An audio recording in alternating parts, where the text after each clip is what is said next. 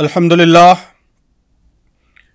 इन्नल्हम्दुलिल्लाह नहमदुहु नस्तईनुहु व नस्तगफिरुह अल्लाहु अकबर अल्लाहु अकबर ला इलाहा इल्लल्लाह वल्लाहु अकबर अल्लाहु अकबर वलिल्लाहिल हम्द अल्लाहुम्मा सल्लि अला सय्यिदिना मुहम्मदिन अब्दिका व रसूलिका नबिय्यिल उम्मी व अला आलिहि व अस्हाबिहि अजमाइन अल्लाह अकबर कबीरा वल्हम्दुलिल्लाहि कसीरा व सुबहानल्लाहि बुकरतम व असीला औज़ु बिल्लाहि मिनश शैतानिर रजीम बिस्मिल्लाहिर रहमानिर रहीम शहरु रमज़ान अल्लज़ी उन्ज़िल फ़ीहिल क़ुरआन हुदल लिन्नासि व बय्यिनातिम मिनल हुदा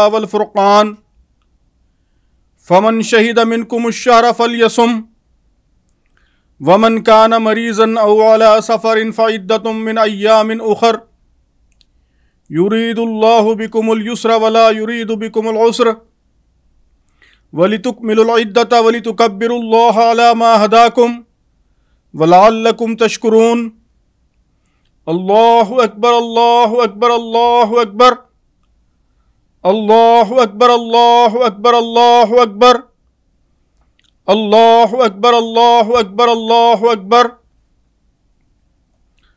मोहतरम बुज़ुर्गों अज़ीज़ नौजवानों प्यारे बच्चों काबिल एहतराम माओ बहनों और बेटियों असलकम वरहमतुल्लाहि वबरकातुह सलामती हो आप तमाम पर और आप सबको और आपके सब अजीज़ों को ईद की पुरखलूस मुबारकबाद।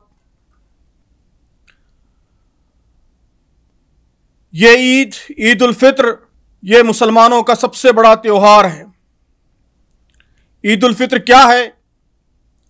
ये खुदा की हिदायत और नजूल कुरान का जश्न है।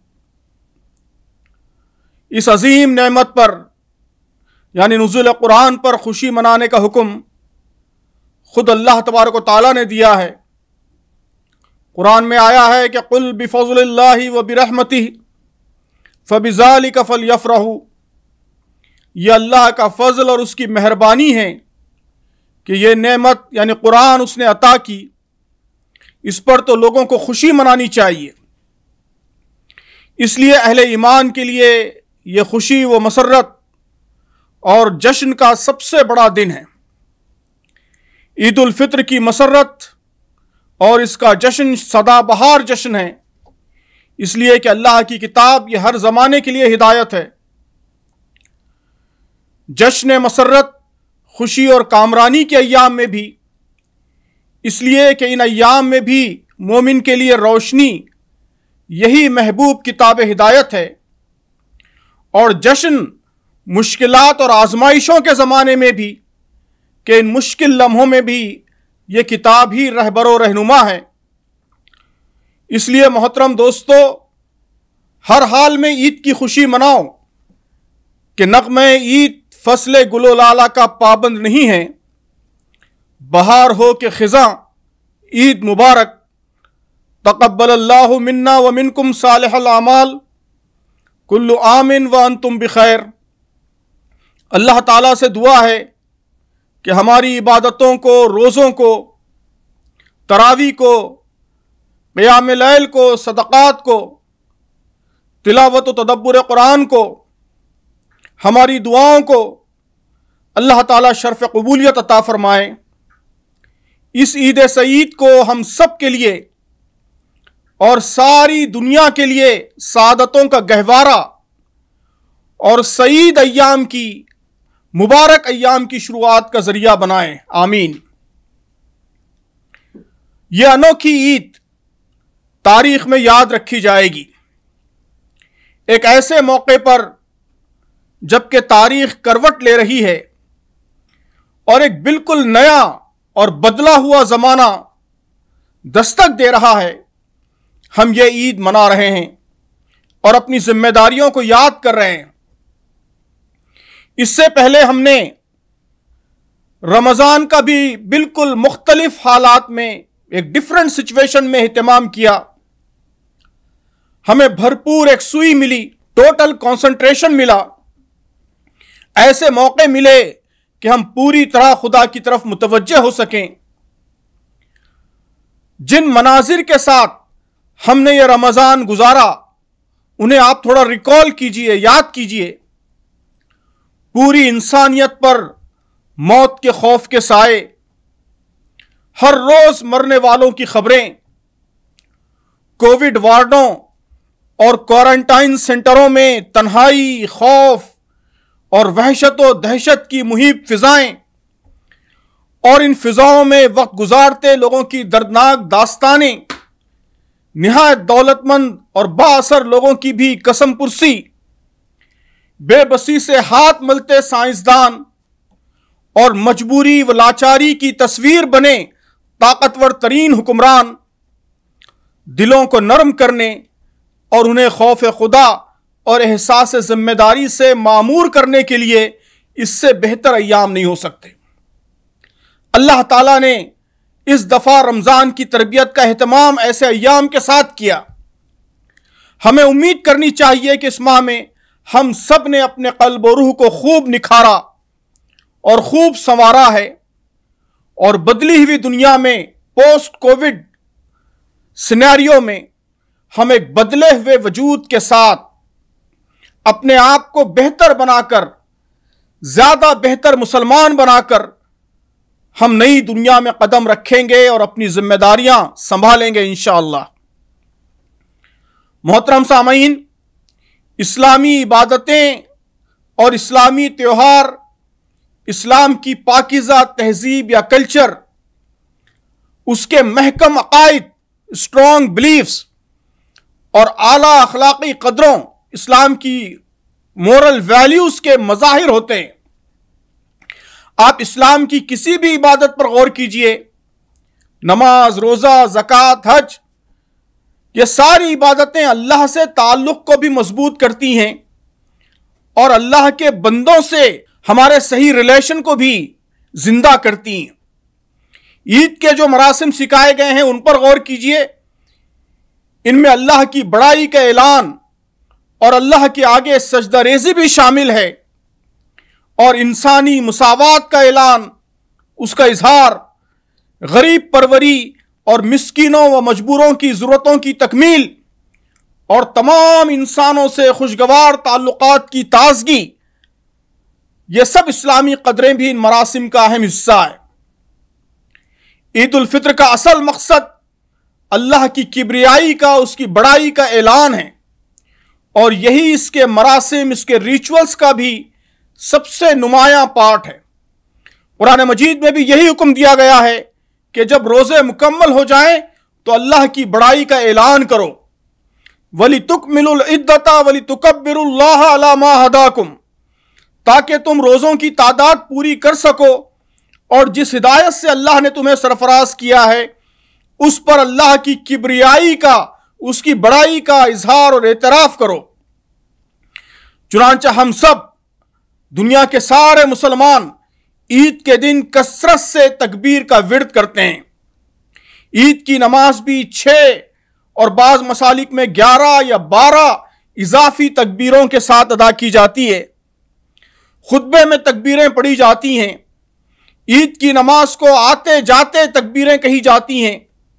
नबी करीम सल्लल्लाहु अलैहि वसल्लम के बारे में रावी कहते हैं कि काना रसूलुल्लाह सल्लल्लाहु अलैहि वसल्लम युकब्बिरु यौमल फित्र मिन हीन यखरुज मिन बैती हत्ता याती अल मुसल्ला कि आप सल्लल्लाहु अलैहि वसल्लम ईद उल फित्र के लिए घर से निकलते ही तकबीर शुरू कर देते थे और नमाज़ के लिए मुसल्ले पर पहुँचने तक तकबीर की तकरार फरमाते रहते।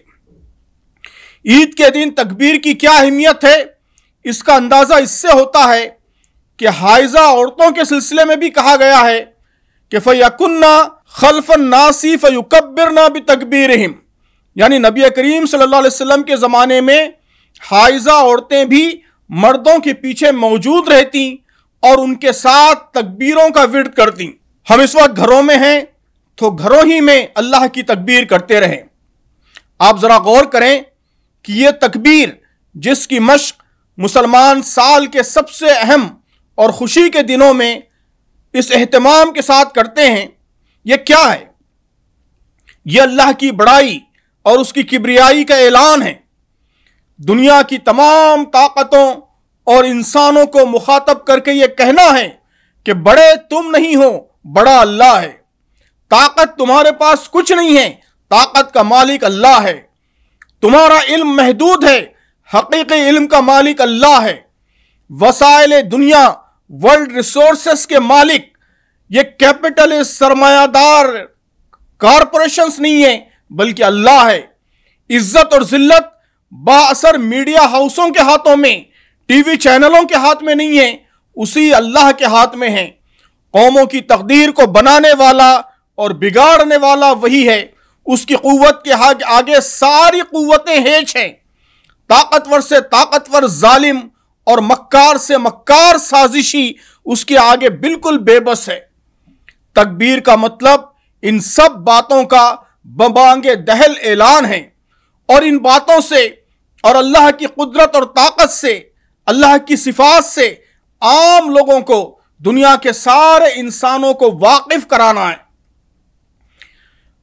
मोहतरम सामीन, ये तकबीर यह ऐलान जो ईद के दिन आप करते हैं यह महज एक रस्म, एक रिचुअल नहीं है यह एक मज़बूत बिलीफ सिस्टम है।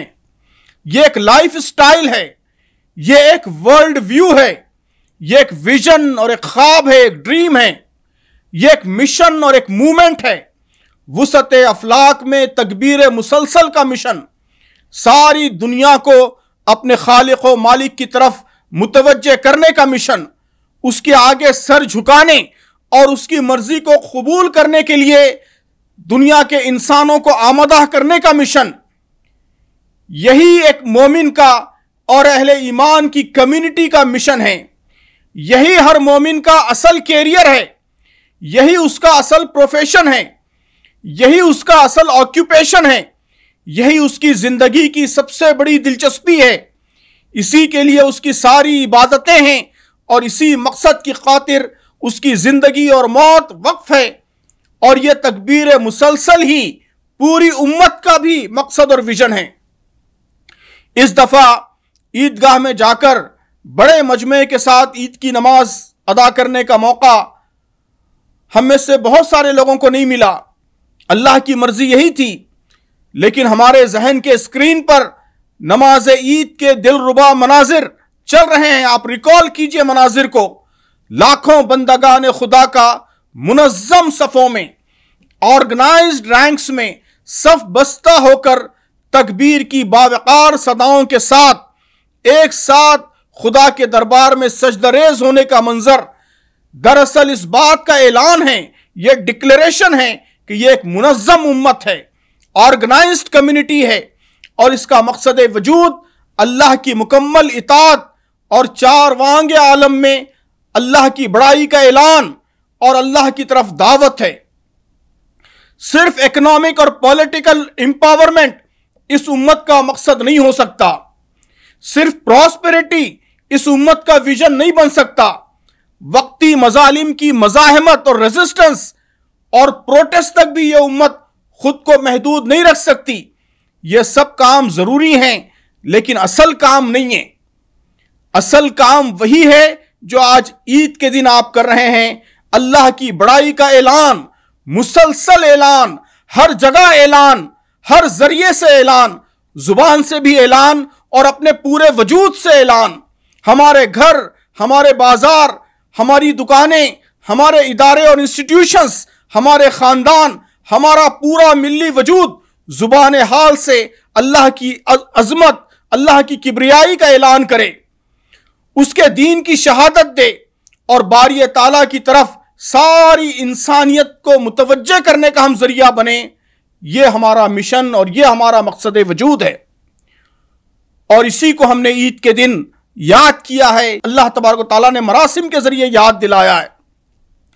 बुज़ुर्गों और दोस्तों, आज इस अनोखी ईद के मौके पर हम इस तरह तकबीर बुलंद कर रहे हैं, अल्लाह की बड़ाई का ऐलान कर रहे हैं कि हमारे साथ सारी दुनिया चाहते हुए या न चाहते हुए, शौरी या गैर शौरी तौर पर तकबीर बुलंद कर रही है। एक हकीर वायरस ने सारे आलम इंसानियत को खालिक कायनात की कदर समझने का, उसकी क़वत और ताकत की कदर समझने का मौका फराहम किया है। अल्लाह ताला ने कुरान मजीद में फरमाया कि या नासु जुरिबा मसलन फस्तमियोला लोगों, एक मिसाल दी जाती है, गौर से सुनो। इन लजीना तदऊना मिन दून लन यखलुकु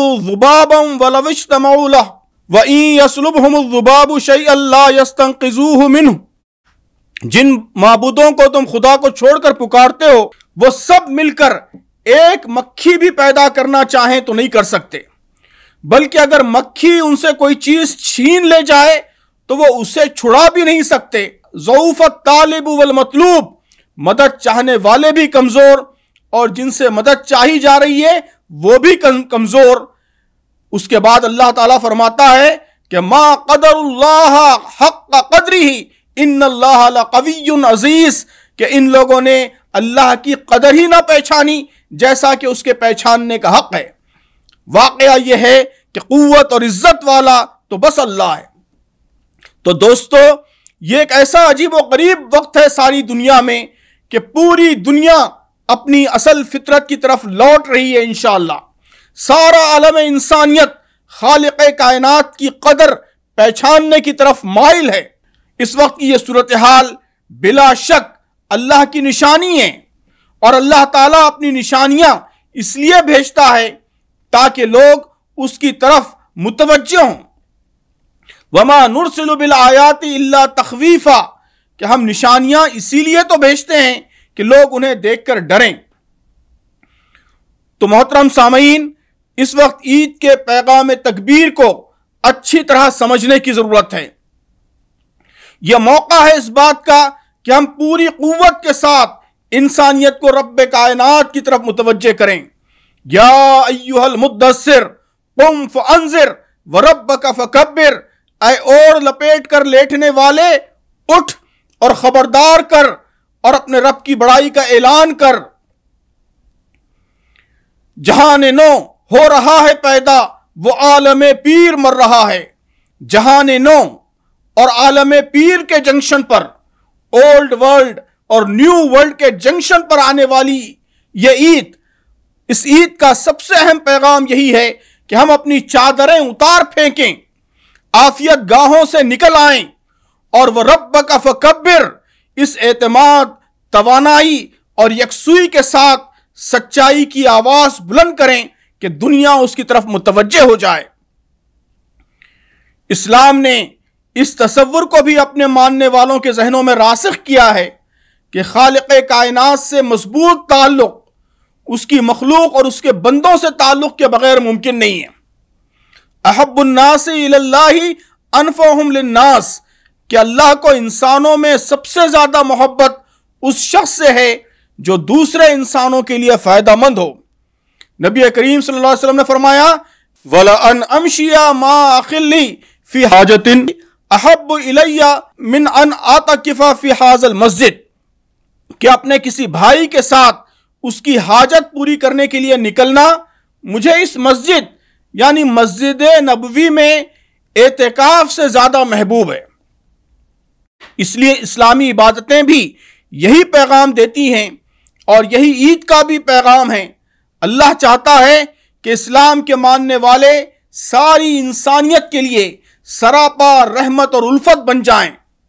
आप ईद के बसरी मज़ाहिर, विजुअल मैनिफेस्टेशंस पर फिर एक बार गौर फरमाएँ तकबीरात की सदाएँ और अल्लाह के हुजूर लाखों इंसानों की सजदरेज जबीने, जहाँ खालिक कायनात की बड़ाई, उसके आगे सरेंडर, उससे वाबस्तगी उससे स्ट्रॉन्ग रिलेशन गहरे ताल्लुक की अलामत है। तो नमाज़ ईद की सफबंदी, इंसानी मसावत का ऐलान और इतिहाद और तंजीम की अलामत है। सतह फित्र और ज़क़़त, गरीब परवरी, इंसान नवाजी और इंसानों के मसाइल में अहल ईमान की गहरी दिलचस्पी का मजहर, उसका मैनिफेस्टेशन है।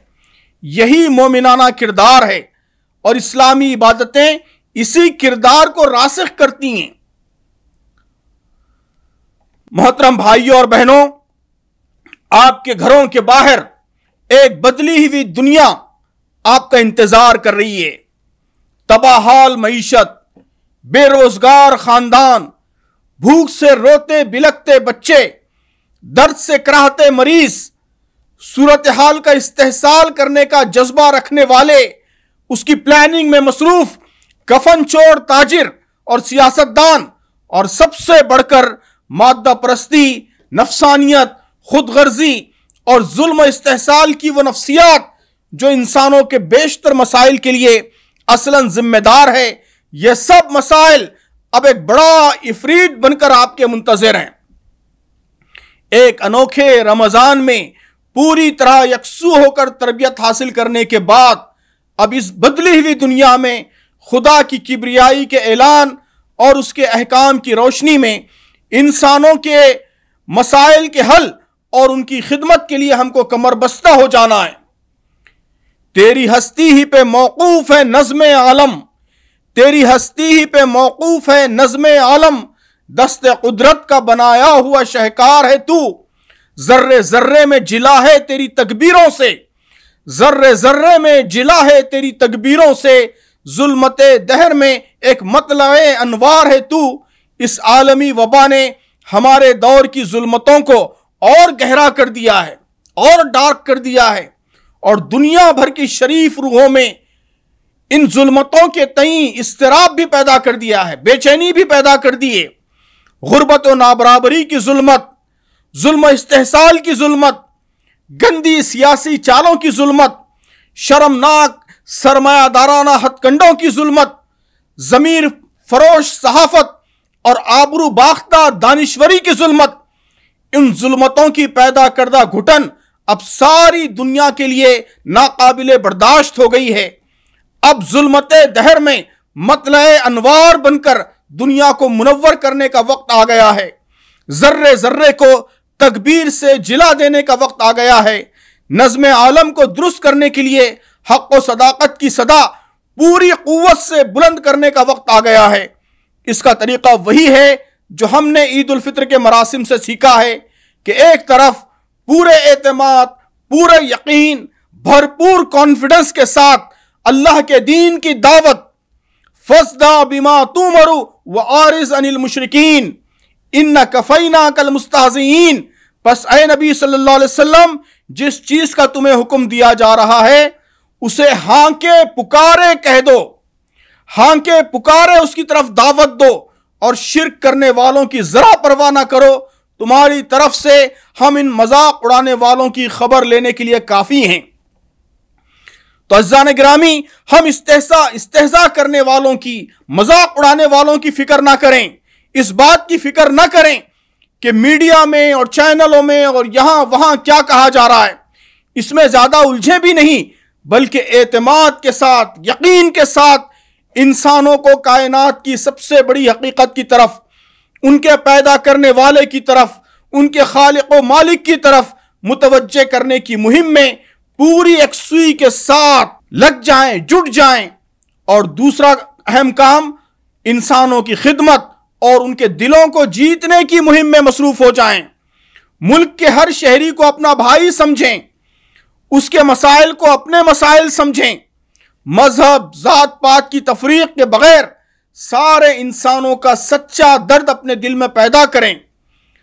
लॉकडाउन के दौरान जिस बड़े पैमाने पर और जिस सरगर्मी और दिलसोजी के साथ, जिस डेडिकेशन और कमिटमेंट के साथ बाज अपनी जानों पर खेलकर हमारे नौजवानों ने, बुज़ुर्गों ने और हमारी माँ और बहनों ने इंसानियत की जो गैर मामूली खिदमत की है, उस पर हम सबको बे इंतहा खुशी है। इंसानियत के इन सच्चे खिदमत गुजारों पर हमें फ़ख्र है। अल्लाह ताला इनकी खिदमत को कबूल फरमाए। इस स्पिरिट और जज्बे को हमें परवान चढ़ाना है और पूरी उम्मत में से आम करना है। यहाँ तक कि इस मुल्क में मुसलमानों की वही तस्वीर बन जाए, जो अल्लाह के रसूल सल्लल्लाहु अलैहि वसल्लम की मक्के के माशरे में थी कि ये सच्चे लोग हैं। यह अमानतदार लोग हैं। इन नकल तसील रहमा, कि आप सिला रहमी करने वाले हैं नबी करीम वसल्लम के बारे में। खतीजा रज़ल्ला तहा ने गवाही दी इन नकल तसील रहमा, आप सिला रहमी करने वाले हैं। व तहमिलकल्ला बेकसों का बोझ उठाने वाले हैं। व तकसीबुल मादूमा, आप महरूमों और मुफलिसों की ज़रूरत पूरी करते हैं। व तकरी ज़यफ़ा मेहमान नवाज़ हैं। व तोन अला नवाबिल हक तो मोहतरम सामीन हमें अपने आप को बदलना है और एक ऐसी उम्मत बनना है जिसके सर में अल्लाह की बड़ाई बयान करने का सौदा समाया हुआ हो।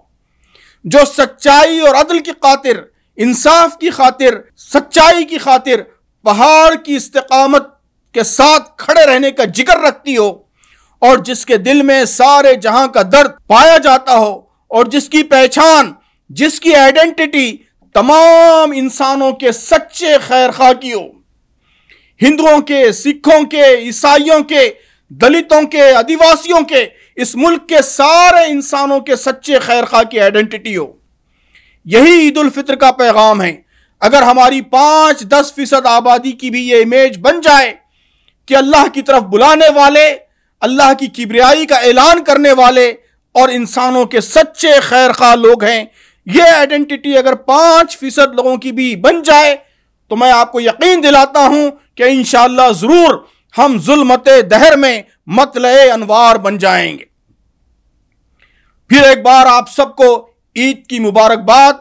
अल्लाह महफजना व जमी मुसलमिना वलखलक अजमाइन मिन फेरोसी कोरोना व मिन कुल्ली वबा व बला। अल्लाह मरजुकना हुसन जन्नी बिका व सिद्क़ तवक्कुली अलैका। अल्लाहुम्मा आमीन। अल्लाह अकबर अल्लाह अकबर। ला इलाहा इल्लल्लाह अल्लाह अकबर। अल्लाह अकबर, वलिल्लाहिल अल्लाह अकबर अल्लाह अकबर अल्लाह अकबर। अल्लाह अकबर अल्लाह अकबर। अल्लाह अकबर।